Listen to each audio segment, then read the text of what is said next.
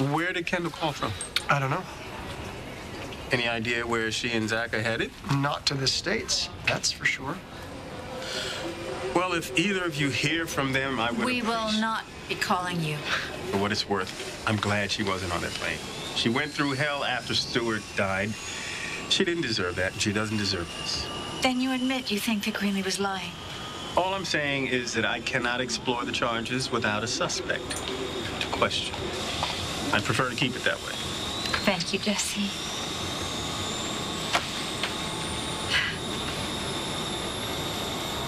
Okay, so tell me everything that Kendall said.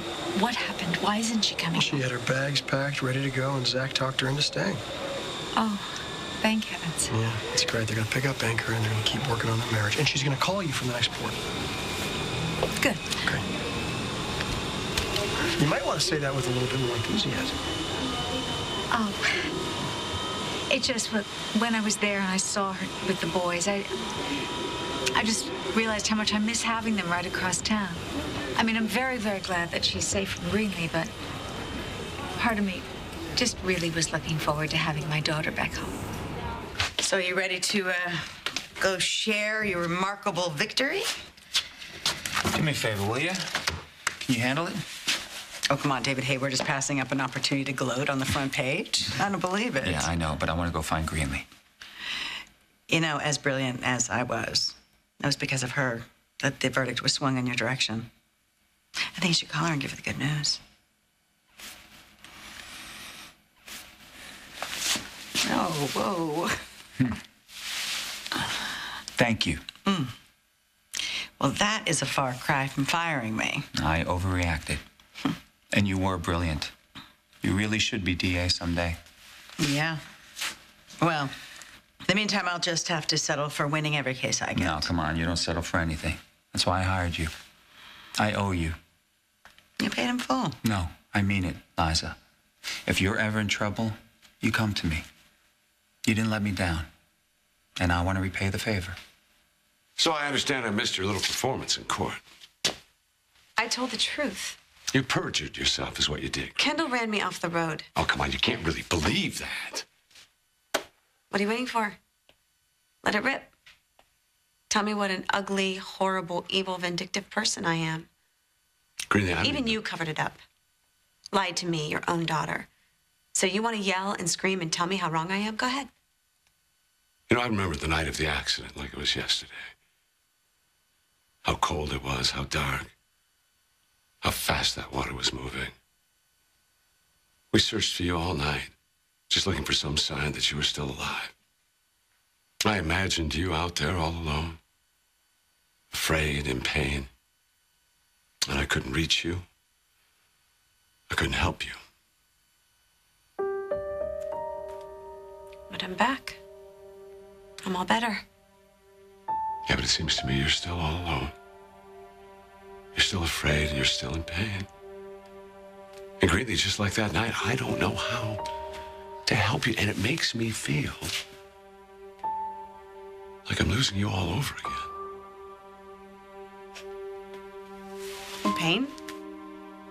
I feel great. I finally got the truth. I tracked down Kendall and I confronted her. And you and Erica and Ryan and Zach want to defend her. You want to protect her. I don't give a damn. She took away a year of my life. She took Ryan, and I don't forgive her. You can think whatever you want about me, but Ryan loves you. Not anymore. Hello? I was hoping you can give me a ride home.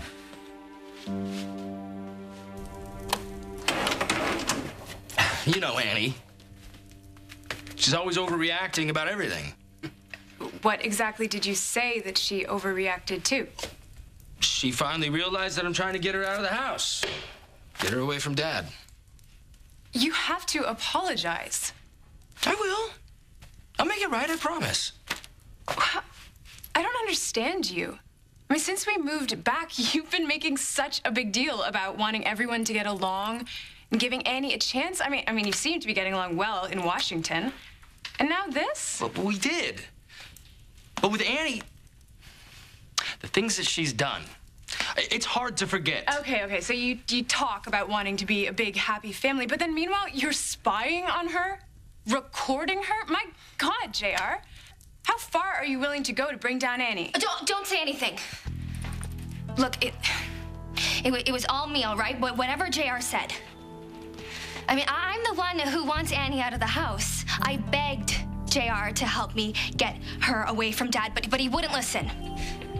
Uh, okay, so you were the one recording Annie? Yes. Jerry, look, you you don't you don't have to cover for me. Just because I want Annie out of the house doesn't mean I want you in trouble. You have a second chance. You need to focus on your life and your family. I just thought a, a little fresh air would be good. I'll see you back at the house. Uh-huh.